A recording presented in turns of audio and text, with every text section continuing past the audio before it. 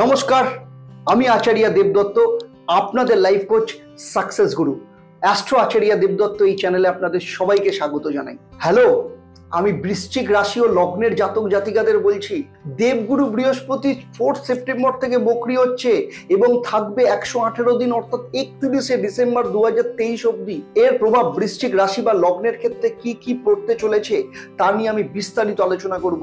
আপনার রাশি বা লগ্ন সাপেক্ষে বৃহস্পতি ষষ্ঠভাবে বকরি হচ্ছে, ফলে আপনার স্বাস্থ্য নিয়ে কোনো সমস্যা হবে না তো?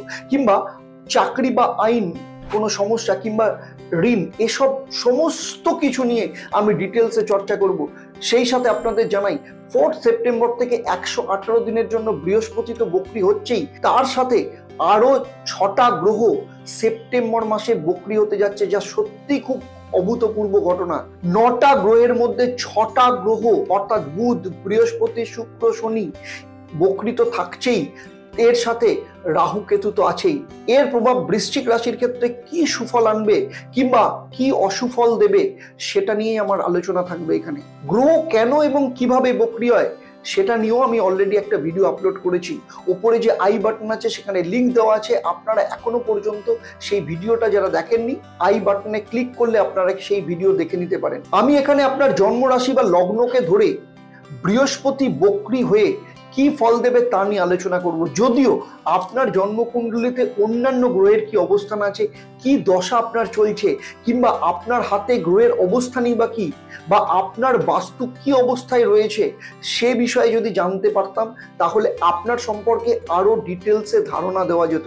এই ব্যাপারে বলি, যারা জীবনে ভীষণ সমস্যার মধ্য দিয়ে যাচ্ছেন, এবং সে কারণে যারা আমার সাথে কনসাল্ট করতে চান, তারা নিচে যে হেল্পলাইন নাম্বার দেওয়া রয়েছে, সেখানে ফোন করে আমার চেম্বার কিংবা অনলাইনে কনসাল্ট করার জন্য স্লট বুক করতে পারেন। আর আমার চেম্বার কোথায় কোথায় আছে, তার বিস্তারিত বিবরণ নিচেই দেওয়া আছে, সেখান থেকে আপনারা দেখে নিতে পারেন। চলুন এবার মূল আলোচনায় ফেরা যাক। প্রথমেই আলোচনা করব আপনার রাশি বা লগ্ন সাপেক্ষে ষষ্ঠভাবে বৃহস্পতি বকরি হচ্ছে, সেক্ষেত্রে আপনার কেরিয়ার বা চাকরির ক্ষেত্রে বড় ধরনের পরিবর্তন আসতে চলেছে।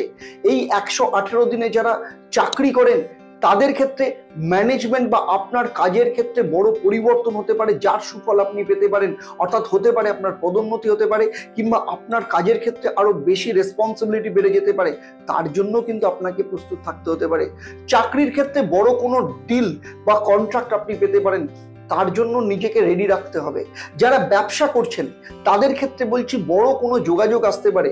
ধনু রাশি হলো আপনার দ্বিতীয় ভাব, অর্থাৎ অর্থভাব বৃহস্পতি যখন বকরি হবে, যাদের আইনি সমস্যা চলছে বা সরকারি কোনো কাজ দীর্ঘদিনে বাধার মধ্য দিয়ে চলছে বা যারা এখনও বেকার রয়েছেন, তাদের ক্ষেত্রে কোনো না কোনোভাবে বৃহস্পতির আশীর্বাদ আপনি পেতে চলেছেন। সুতরাং দেখা যাচ্ছে, আপনার কর্মপ্রাপ্তি হতে চলেছে কোর্ট কেস বা সরকারি কোনো সমস্যা থাকলে তারও সমাধান আপনি পেতে চলেছেন। অর্থাৎ এই একশো আঠেরো দিন আপনার পক্ষে কোনো সমাধান সূত্র বা কোনো ডিসিশন আপনি লাভ করতে পারেন। সেই সাথে এই একশো আঠেরো দিনে আপনার বড় আর্থিক প্রাপ্তি হতে পারে, যার ফলে আপনার লোন বা ঋণের পরিমাণও কমে যেতে পারে। সুতরাং দেখা যাচ্ছে এই বছর শেষ হতে হতে, অর্থাৎ একশো আঠেরো দিন আপনার জীবনে আর্থিক ক্ষেত্রে কিন্তু যথেষ্ট সুফল নিয়ে আসতে চলেছে। অন্যদিকে যেহেতু বৃহস্পতি আপনার ষষ্ঠভাবে বকরি হচ্ছে, তাই একশো আঠেরো দিনে আপনার শারীরিক দিক থেকেও কিন্তু আপনাকে একটু বেশি পরিশ্রম করতে হবে, কিংবা আপনাকে এক্সারসাইজ বেশি করতে হতে পারে। কারণ এই একশো আঠেরো দিনে আপনার কোমরের ব্যথা ডিস্ক প্রবলেম স্পন্ডেলাইসিসের প্রবলেম এর সাথে পঁয়ত্রিশ বছরের ওপরে যাদের বয়স, তাদের সুগার থাইরয়েডের সমস্যা আসতে পারে। কারণ এতদিন পর্যন্ত আপনি সেভাবে কোনো ফিজিক্যাল অ্যাক্টিভিটিস হয়তো করেননি। তাই এক্ষেত্রে দেখা যাচ্ছে একশো আঠেরো দিন বকরি বৃহস্পতি আপনাকে কেরিয়ার আপনার পেশাতে লাভ দিচ্ছে, আর্থিক ক্ষেত্রে লাভবান করাচ্ছে, কিন্তু আপনার শরীর স্বাস্থ্যের ব্যাপারেও আপনাকে ভীষণ নজর দেওয়ার কথা বলা হচ্ছে। যথেষ্ট সতর্কে থাকতে হবে এবং আপনাকে আবার বলছি নিয়মিত জিম বা যোগা এই ধরনের কোনো ফিজিক্যাল অ্যাক্টিভিটিসের মধ্যে রাখতে হবে। সেই সাথে বৃহস্পতি পঞ্চম ভাবের অধিপতি, তাই নবদম্পতি বা অনেক দিন বিবাহ হয়েছে কিন্তু এখনও পর্যন্ত সন্তান হয়নি, তাদের ক্ষেত্রে কিন্তু সন্তানের ব্যাপারে নতুন কোনো খবর আসতে পারে বা সন্তান নেওয়ার ব্যাপারে প্ল্যানিং কমপ্লিট হতে পারে। যাদের সন্তান হওয়া নিয়ে সমস্যা চলছে বা যারা সন্তান হওয়ার জন্য ট্রিটমেন্ট করছেন, এই একশো আঠেরো দিন তারাও সন্তানের ব্যাপারে কিন্তু সুফল পেতে চলেছেন।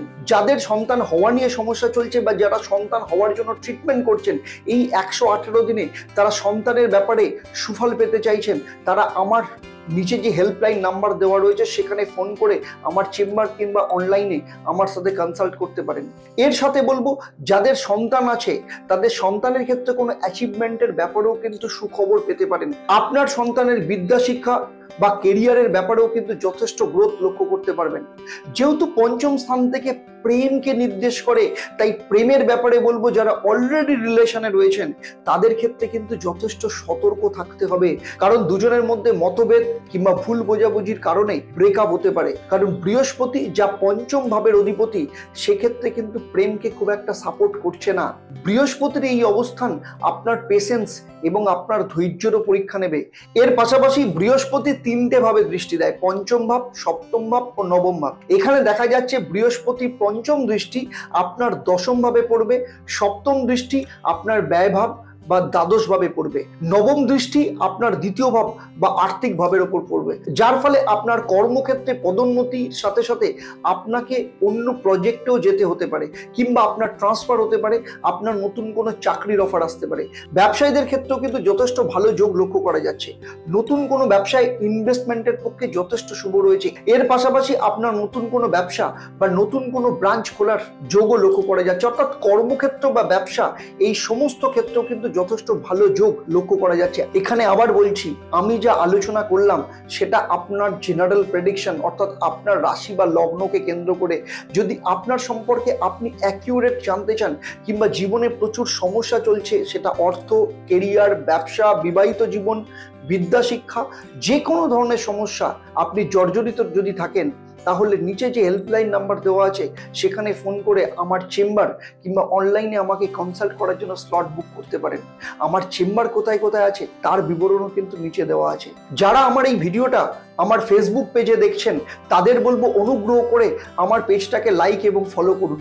আর আমার এই ভিডিওটা যারা আমার ইউটিউব চ্যানেল দেখছেন কিন্তু এখনও পর্যন্ত আপনারা সাবস্ক্রাইব করেননি, তাদের বলব চ্যানেলটাকে সাবস্ক্রাইব করুন। তার সাথে সাথে নোটিফিকেশন বেল আইকনটাকেও প্রেস করে রাখুন, যাতে ফেসবুক কিংবা ইউটিউবে যখনই আমি কোনো নতুন ভিডিও আপলোড করব, সঙ্গে সঙ্গে আপনাদের কাছে তার নোটিফিকেশন চলে যাবে। এছাড়া আরও যদি আপনাদের কোনো মতামত থাকে বা কোনো সাজেশন থাকে, অবশ্যই কমেন্ট বক্সে লিখতে ভুলবেন না। আবার আপনাদের সাথে দেখা হবে আপনাদের জীবনের কোনো সমস্যার সমাধানের ভিডিও নিয়ে। আপনারা ভালো থাকবেন। নমস্কার।